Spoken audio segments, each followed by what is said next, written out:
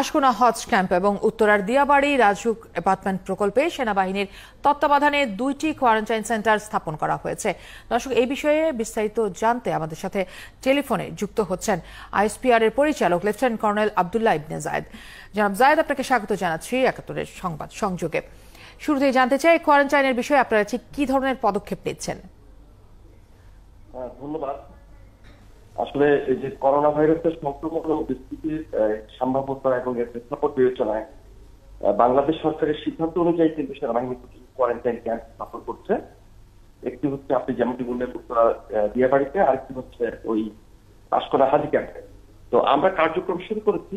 আমাদের লোকজন গিয়েছে জিনিসপত্র নেওয়া হচ্ছে জিনিসপত্র তৈরি করা হচ্ছে।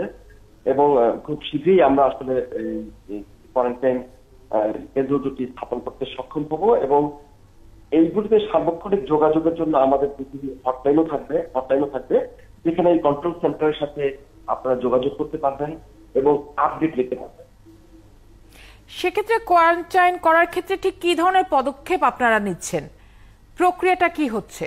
আচ্ছা প্রক্রিয়াটা হচ্ছে স্বাস্থ্য মন্ত্রণালয় বেসিক্যালি ওই যখন স্ক্রিনিংটা করবেন। বিদেশ থেকে যাত্রীরা আসার পর তাদেরকে স্ক্রিনিং করে তারা নির্বাচন করবেন যে কাদেরকে তারা কোয়ারেন্টাইনে পাঠাবে।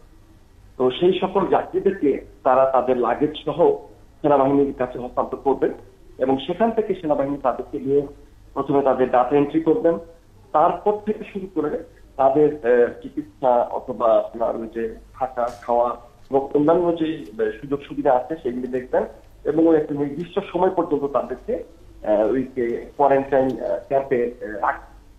আর এই পুরো প্রক্রিয়াটিতে সরকারের স্বাস্থ্য মন্ত্রণালয় সহ অন্যান্য মন্ত্রণালয়, সংস্থা, অধিদপ্তর বা বাহিনী সবাই কিন্তু প্রয়োজনীয় সহায়তা প্রদান